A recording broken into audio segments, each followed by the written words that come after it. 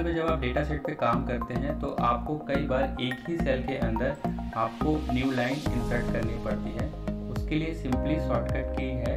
आपको simply alt plus enter press करना है। बट सेल को एडिट मोड में होना चाहिए। तो एडिट मोड में करने के लिए हम यहाँ पे जहाँ भी सेल है, कोई भी सेल सेलेक्ट करेंगे, हम उसे एडिट मोड में लाने के लिए क्या करेंगे F2 प्रेस कर देंगे।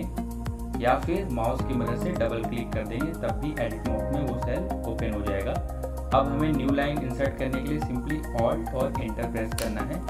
और यहाँ पे जैसे कोई और सिटी लिखना चाहते हैं तो मुंबई लिख दीजिए। ऑल्ट इंटर फिर से प्रेस करिए। या फिर फिर से आपको लिखना है गोवा तो गोवा लिख दीजिए। तो आप एक ही सेल के अंदर न्यू लाइन कैसे इंसर्ट करते हैं, उसके लिए सिंपली ऑल्ट प्लस